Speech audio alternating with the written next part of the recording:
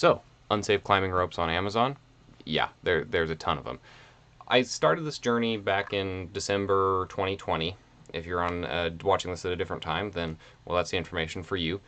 One of the things I wanted to do during my winter break was put up zip lines. I was spending some time in Florida, and my family has a property there with lots of great trees, and so I wanted to get some fun setting up zip lines and learning more of that process in this process of trying to buy ropes for this project, I find out that there is a ton of sketchy, uncertified ropes on Amazon. Most of the top rated ones, most of the top sellers are all un untested, uh, uncertified ropes that are marketed for climbing purposes, and that's just unsafe it's not particularly surprising. Amazon is a commercial company and they're not motivated to moderate their actual stuff, so this is more just consumer information than anything else.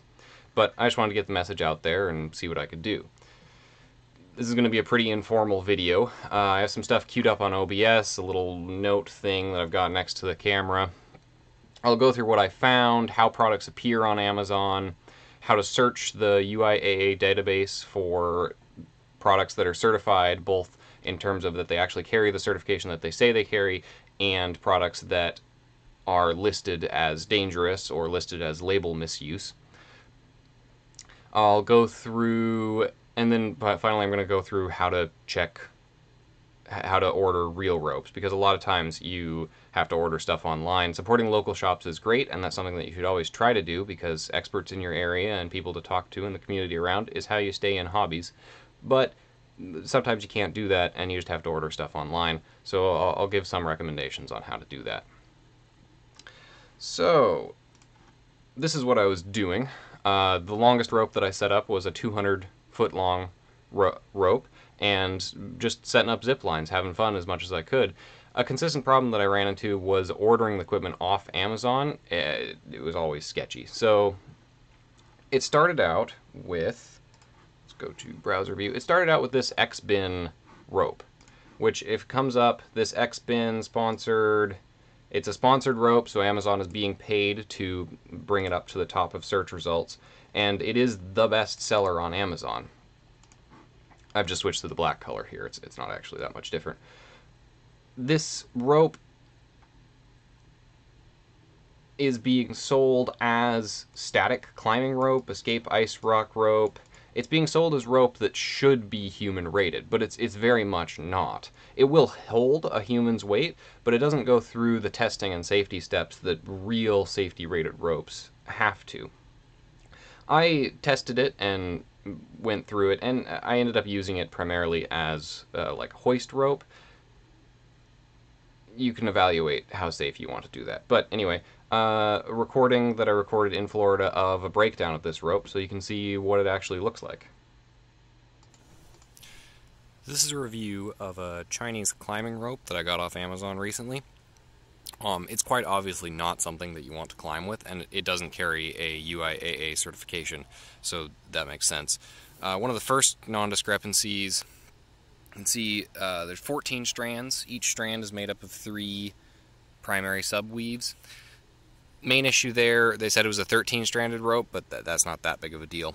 The main thing that's primarily obvious so, this orange cord is a real static rappelling rope, and it's 10.5 millimeters. So, you can see that the other cord is probably only 8 millimeters at most. It does support full human weight, but I would not say that it is safe to operate in a climbing environment. These are the carabiners that you get with it. They do work. They do have a locking bit to them, but they carry no certification, no documentation, nothing of any kind. And this screw dial that's on here is pretty. This is a review of a Chinese certification, no documentation, nothing of any kind. And this screw dial that's on here is pretty sketchy. It is sticks consistently and is not very fun to deal with. And then you can see that that rivet right there looks like it was beat in with a hammer. Not a quality product at all. Looking in the weaving and the eyelet, eyelet does look pretty good. And the weaving stitching goes there's a sub stitch that's in the just the outer jacket and then a main stitch that looks like it goes all the way through about half of the core. So that's pretty good. This is what it looks like out of the package. I got the 230 foot version and uh, next up we'll be doing a fall test. So, uh, in addition to that, we also set up a little rig where I did a cut test of the rope. So I'll cue that up next. You just start recording, and do not stop recording until we say stop. Okay, so this is the strength test of this Chinese Amazon rope. Uh, I got my sister here, and we're going to cut through it slowly and see how it breaks. We might want the cameraman to pull in a little bit so we can get a close-up shot of the break section here and there. But uh, other than that, I think we're good to test. Okay, go for it.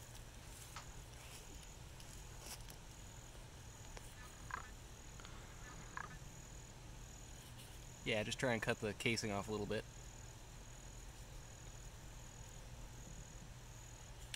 Backside over this side needs a little bit on the casing. Alright, casing is. Hey, There there we go. There we go. Core. This is a 14 strand core. Each of the cores has three braids on it. Yeah, it looks like I already cut quite a few. Okay, well that's At least four or five. We just want to know how many can support me. So we're paying attention to the failure point. I'm going to try to keep the weight off the ground. Good. Ah. So here, give me a second. Bring the forward. There you go. Keep going. Oh lord, alright.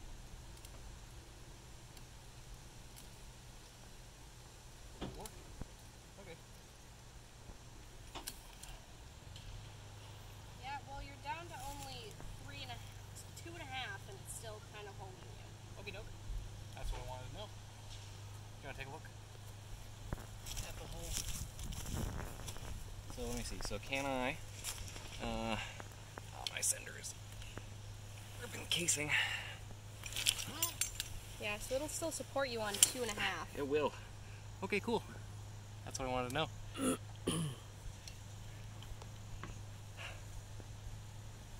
That's Okay. So that cut test is kind of interesting. Um, it shows that the rope could pretty reliably support my weight on just two strands remaining. So estimating that I exert probably a little bit less than a kilonewton of force, and it's 14 strand rope, so it, could probably do reasonably well 7 kilonewtons of force. Uh, that's why I was okay using it as a hoist rope, but it's not real climbing rope. The sheath is very thin, it's not very wear resistant, and it's just pretty dangerous to use in general for the purpose that it's advertised. But that that doesn't where the problems stop on Amazon. It's not just that ropes that are uncertified and untested are being sold as are being marketed as climbing rope, but there's actually quite a bit of mislabeling in the ropes that are actually labeled as UIAA certified or ropes that you should be able to use. Um, so we're going to go to, so when you go look at Amazon, let's switch to browser view. So static climbing rope. So as you're going through here, most of the ones that you see are not UIAA certified. They're just this small rope that's a lot thinner than it really should be. 8 millimeters can hold your weight, but it's not great. And then there's a few ones that are like this powerful UIAA static rope climbing rope, and I've actually got some of that here. I've got the the black version. The orange version is the one that I was showing alongside before. Uh, it's so first off, it's marketed as 10.5 millimeter rope, but let's go to there. It's marketed as 10.5 millimeter rope. It, is the 10.5 millimeter rope. It's not fantastic. So let's go. Like it kind of depends on where you test it and how you test it. It's anywhere from 11. I've measured it in some spots where it's slightly below below 10.5 millimeters. So like it, it's not terrible. Uh, the main problem that I had with this rope is just the sheath slips a fair amount. So if I just do like I've already taken about a foot and a half of sheath off this rope. See here in just a second that the end is modified. But the other problem, so if you're rappelling down this rope with a prusik on it, you consistently end up with too much sheath below where you're operating. That's not tremendously unsafe. Uh, a loose sheath isn't a big deal, but it can lead to wear issues, and the sheath on this rope is already pretty cheap and thin. So eh, it's not that great. But it, it, it gets worse in that terms. Let me see. So when we go to, it's fine. So this is the rope spot rope. Back to browser view. This is the rope spot rope. When we dig down into it, looking for a certification number for UIAA. So it says UIAA certificate number 174707. That is a certification number, and I can search it and find it. It is labeled, yeah, here it is. CHN 17047. Just found this on Google. Um, the actual safety label search, you can go to, here, let's show you how to do this real quick.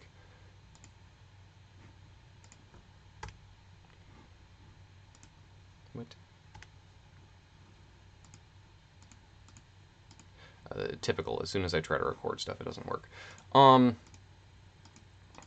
Anyway, going to the actual certification, CHN 1747, it is a valid certification. It does exist, but there's no way to know that the company didn't just find the certification and copy it. So that's a little sketchy there. The interesting thing, though, so there's other ropes on Amazon. This one is so they're debating the certification number of it. This is marketed as an 11 millimeter rope, and if you search down through here, eventually you get a reply from the seller that says that the product number is this 0211030105.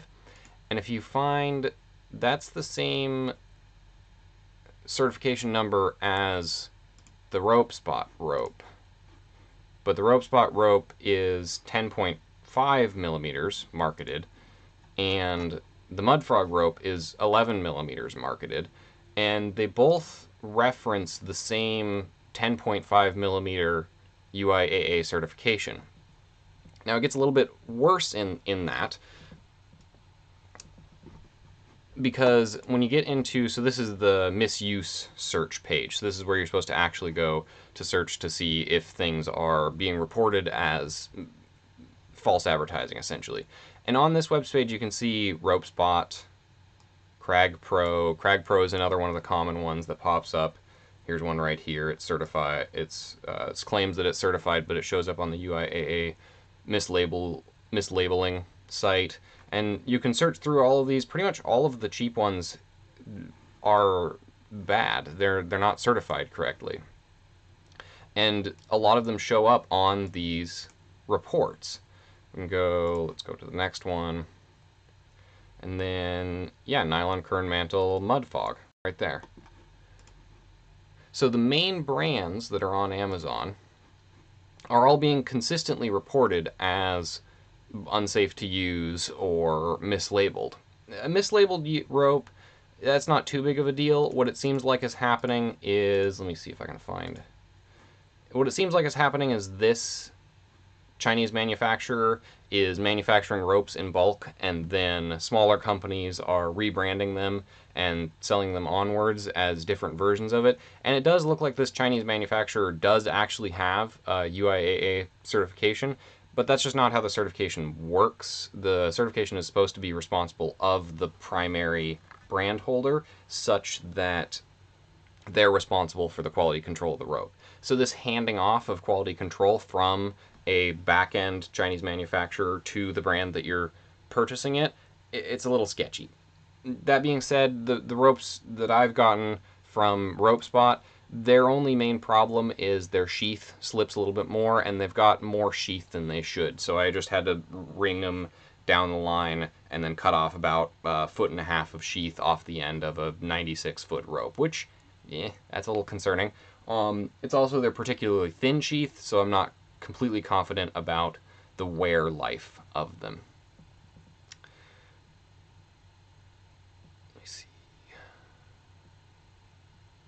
Now, if you want to find a real static certified rope, uh, let's just see how far down this page we, we have to scroll before we get to one. So we're climbing rope static is what I've searched.